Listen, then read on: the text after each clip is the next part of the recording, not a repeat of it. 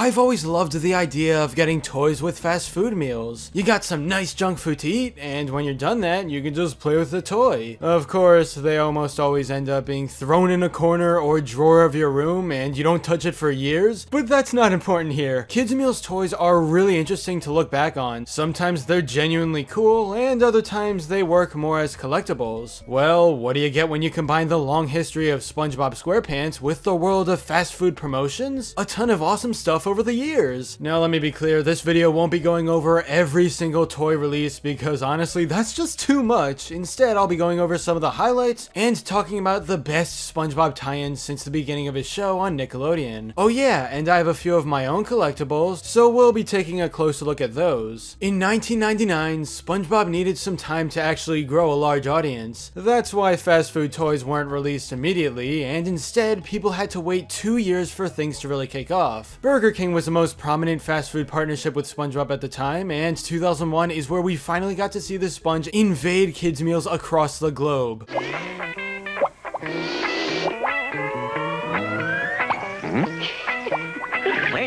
Blowing bubbles, we're making bubble art. Will you look what the tide dragged in? Now a SpongeBob SquarePants pal is in your big kids meal. From this commercial, the lineup doesn't look too bad. You got all the main characters, except for some reason, Mr. Krabs is nowhere to be found. Press F to pay respects. In 2002, there was a very special SpongeBob episode about to premiere on TV, going by the name SpongeBob's House Party, but Party Pooper Pants officially. When you have a big episode like this, it only makes sense to have a fast food tie-in to promote that episode, and why not? Everyone goes to McDonald's, Burger King, Wendy's, you name it, and with this popularity, kids are probably gonna watch the special when they see information on their toys. Instead of Burger King, Wendy's had their own lineup to advertise SpongeBob's house party, and let's go! I have all of them right here. You'll notice they have that classic logo smacked on to make sure people tune in. Take the first one out of the bag, and sweet, it's Gary the Snail. You can shake him for basically nothing to happen, but the real magic arrives when he's on a flat surface. Not an interesting or creative toy design, though it still works as a neat collectible, I guess. And then we have Patrick Star, the true star of the show. At first, it looks like just a normal figure that does absolutely nothing, but take a gander at his back and something weird is going on here. Looks like he has a disease or something. You're supposed to fill it up with water and play some game with it, but I didn't feel like doing that. Next up is a celebrating SpongeBob just having a great time for the party, but he's not really a toy, just a simple notepad. On every page is his most clip art design of giving the thumbs up. Now here's the poster, which is probably the coolest collectible out of the bunch. It works as something you can put up in your room if you're really into SpongeBob, but the activities on it are nice too. Also, the best part is that it's a party poster to get you hyped and ready to party. On the back is a treasure map. Your goal is to use the blue chest that came with the poster, then scan around for the yellow trail. It's alright, pretty creative stuff. Oh yeah, and Sandy's body apparently turned into a pen? I don't know, she's probably in a ton of pain right now, but let's make that worse by writing with her in the SpongeBob Party notepad. And it doesn't work. One of the highlights in the entirety of SpongeBob history is 2004, when the first movie made it to theaters. This would act as the true series finale, and it really holds up today if you go back and watch. Everything about it is hilarious. Anyway, back then there were a ton of advertisements and special promotions to make sure people head out to theaters, so it wasn't surprising to see movie toys enter kids' meals. What makes this certain year better than others is that a few originally animated shorts were made for the occasion, specifically for the Burger King toys.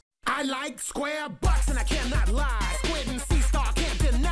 No, not that one. Go back, go back! First, we have Pants Casso, which was actually worked on by the SpongeBob crew. I mean, there's even storyboards. Everything here was made just for the Burger King tie-ins, so it was like some nice bonus content you'd get in a sea of annoying commercials. Along with this, we got the short titled Watch Me, and this one is probably better than the other. What's that? Watch me! Watch us! Watch your step! Watch your head! Watch where you're going! Watch this! SpongeBob, watch out! Watch out! That's a good one, Patrick!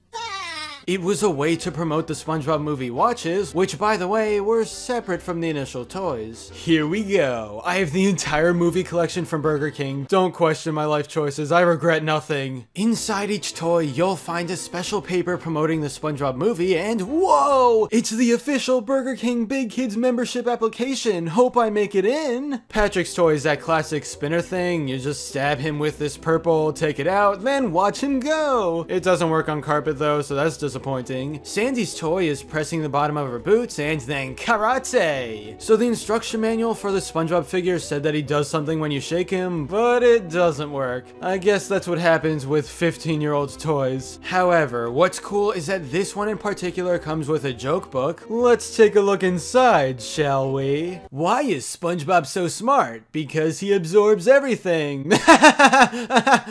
what kind of fish only swims at night? A starfish. okay. What kind of plan really stings? A plan B. I'm done here. There's a pretty cool Squidward toy where you gotta put stuff together, but the end result is his cashier position at the Krusty Krab. If you pull back on his shirt, little Krabby Patty pieces fly out. Probably one of the more unique toys so far. SpongeBob Rubik's Cube. That's it. There's, there's really not much more to say about this. Here we have Plankton holding Neptune's crown, but he has to make a daring escape. That's why you wind him up, let him go, and look at those legs!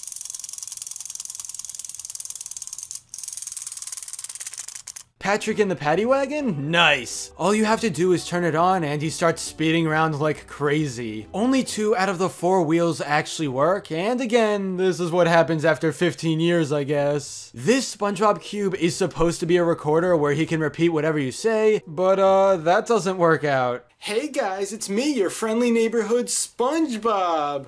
Now play. Play.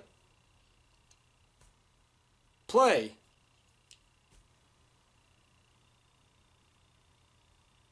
I paid money for this. Welcome back to Broken Toys. Things are supposed to happen when I press these two buttons, but SpongeBob isn't even in the right position. I tried shaking him as much as possible and nothing ended up working, so I guess I'll never see this toy in its full glory.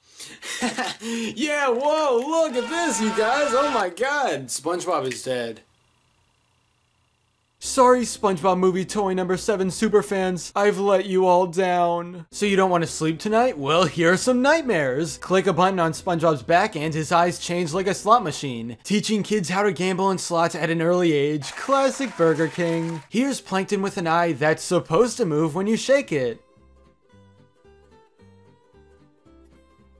Look at Gary go! The overall SpongeBob movie collection isn't bad by any means. I mean, kids can have some enjoyment with them, but they're also pretty standard. Only a few are genuinely worth getting. Like, come on, who doesn't want a Patrick Patty Wagon car? I'd say the best toys out of this bunch are the Patty Wagon and Squidward's cashier boat. After 2004, there were still some interesting SpongeBob fast food promotions, but they were basically all the stuff you expect. For many of the show's specials, there would be tie-ins with that theme, like how in 2005, all of these were made to celebrate friend or foe. Over time, kids' meal toys got a bit less creative, sometimes they all end up being too similar. If we fast forward to 2015, McDonald's had a tie-in with Sponge Out of Water, and look at this! They're all just similar figures of the characters, except a SpongeBob bubble blower, but everything else is boring.